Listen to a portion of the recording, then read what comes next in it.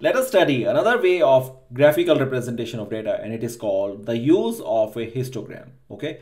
Our learning objective in the study of histogram is threefold. One is that we want to understand what is a histogram and when to use it. Second is what is grouping and how is it relevant to the construction of a histogram. And third is of course to construct a histogram, right? And we are going to learn on all three of those using this data set.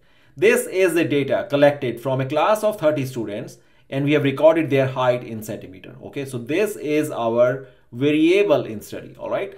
And the objective is to, of course, to study the distribution of height of those 30 students in this class, right? Now, you will observe that this variable that we have defined, the height, it is a continuous variable in nature because height can go from 155 to 155.5 centimeter or 161.2 centimeter, right? It all depends on the precision and accuracy of your measuring instrument, right? That is why we say that this data that you are trying to study is of continuous in nature. And whenever you observe a data set depicting a variable which is continuous in nature, and that is when we use a histogram. It is different than a bar chart, even though they might look the same. A histogram is used when you have a continuous variable under study. A bar chart is used when you have a categorical variable in study, right? Now, why grouping is relevant in histogram is that take a look at this data set. We have 30 observations, the lowest being from 155 centimeter and the highest being 185, right? If you were to analyze all those 30 observations as a data element by itself, it will not give you any meaningful information. Rather, what we do is we divide those 30 observations into smaller chunks and each smaller chunk is called a group of data. That way you can create a frequency plot that how the heights have been distributed. And that is exactly we say that grouping is very relevant in the construction of a histogram. So with that, we say that there are three critical elements in the construction of a histogram. One is defining your class interval. Second is grouping or dividing your data into those intervals. And third is, of course, constructing your plot, right? Constructing the plot. So the very first part, defining your interval. When I look at my data, I see that there is a range. The range goes from all the way from 155 to 185 centimeter, right? This is my range. So the way I'm going to create intervals is that we will take this range and we will divide that into equal number of parts. If I divide 30 with 5, I get a range of 6 centimeter each, right? Or I can divide 30 with 6, I can get a range of 5 centimeter each. What that means is that either I can take 5 groups having a range of 6 centimeter each or I can take 6 groups of 5 centimeter each. We can pick either one of those. But in this exercise, I'm going to pick 5 groups having a range of 6 centimeter each, okay? So then I'm going to make use of a number line in which I show that this is my entire range, okay? And this range begins from 155 and goes all the way up to 185, okay? Now this has to be divided into five equal groups of six centimeter, right? So let's mark our five intervals here. This is one, two, three, four, and five. So first interval goes from 155 to 161. The next will be from 161 to 167. Next will be up to 173, then it will be 179, and then finally 185. So here are my five intervals, one, two, three, four, and five. At this stage, we are covered with our step one, which is creating your intervals, right?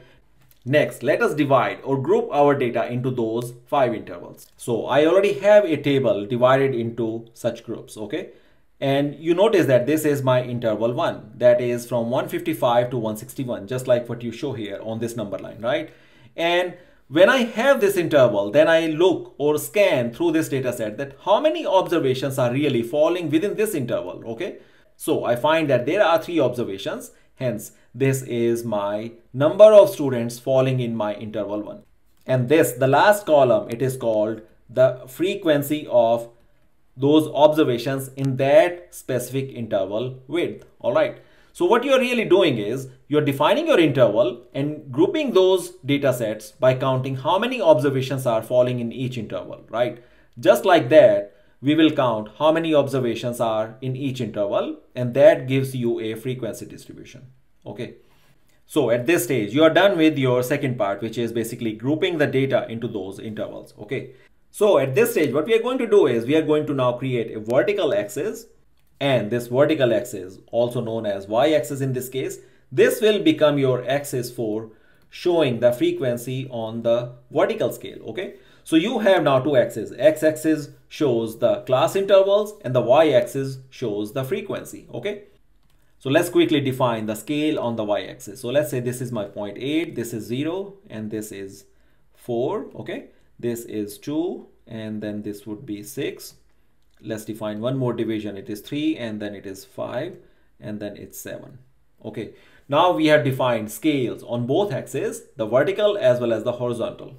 So finally, we are at the last step in which we are simply going to create the bars for each interval and the height of each bar will be equal to their frequency of that specific interval. So, and the second interval goes from 161 to 167 and there are eight students. So that's my frequency, which is the number of students. Third interval that goes from 167 to 173 and there are four students, right? Likewise, the fourth interval will be of seven students and finally the last which is of 8 student okay now you're done constructing your bars which is the width of each bar is equal to the width of each interval and height of each bar is equal to the number of students in that specific interval right? So this is 3 8 4 7 and 8 again.